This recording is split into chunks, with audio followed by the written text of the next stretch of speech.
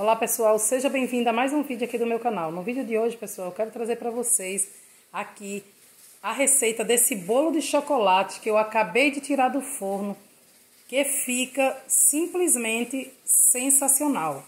Pessoal, para vocês fazer esse bolo, vocês vão precisar de 3 quartos de xícara de farinha de trigo, 2 xícaras de açúcar, 2 ovos, duas colheres de chá de 12 gramas de bicarbonato de sódio, uma colher de chá de 6 gramas de fermento químico, 3 quartos de xícara de cacau em pó, uma xícara de 240 ml de leite, uma xícara de 240 ml de café quente e meia xícara de 120 ml de óleo.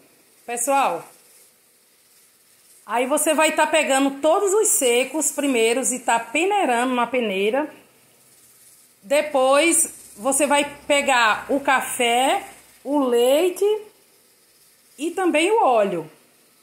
Vai colocar aí na, na sua massa, vai colocar os dois ovos, vai mexer isso tudo muito bem e vai levar o forno pré-aquecido a 180 graus por 45 minutos. E se você quiser também fazer uma calda, pessoal, você pode estar tá derretendo aí 200 gramas de chocolate meio amargo, meia caixinha de creme de leite, vai estar tá derretendo aí no micro-ondas e jogar no seu bolo.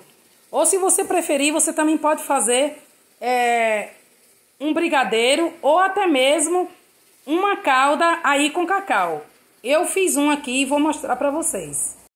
A minha aqui, pessoal, é o seguinte, eu coloquei uma xícara é, de achocolatado e uma colher de sopa de cacau em pó.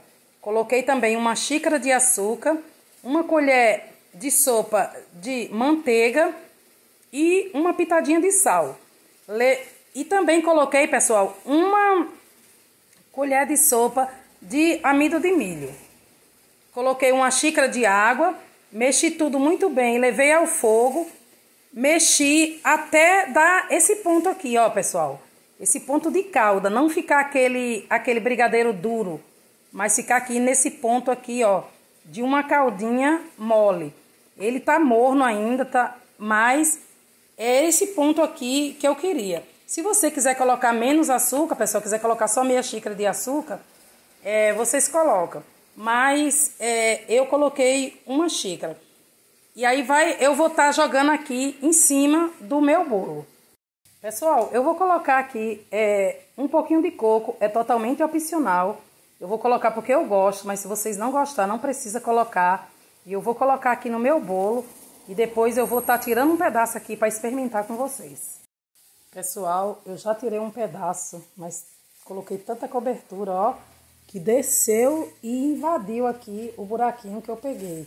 Também já coloquei o coco aqui para dar um, um, visual mais bonito e também porque eu gosto bastante. Olha aqui o pedaço, pessoal. E eu vou estar tá aqui, ó, ó. Olha como que esse bolo tá, ó, pessoal. Bem molhadinho, olha. Bem molhadinho, bem chocolatudo. E agora eu vou experimentar aqui e vou falar para vocês.